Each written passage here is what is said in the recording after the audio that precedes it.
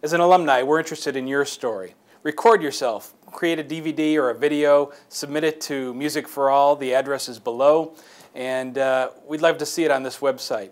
Right now, why don't you take a look at this next video clip. Marvis Herring. I was the head drum major for Avon this year, and I was drum major for three years, and then my brother was drum major two years before. He was the head drum major.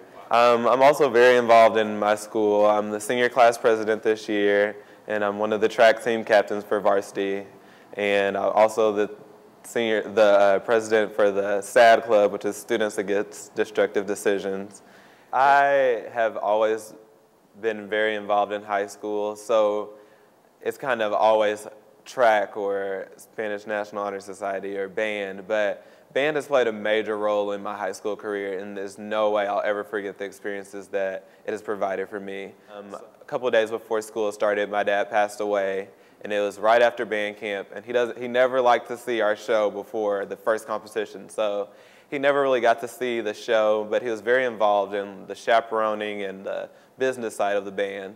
So I never lost, I missed about two practices, but I never lost my focus with band. I mean, being in a leadership position, you still have to be able to come back no matter what. So at Nationals, as we hit our last note, like I turned around to the audience at the end, and it's just like I just knew my dad was still watching us.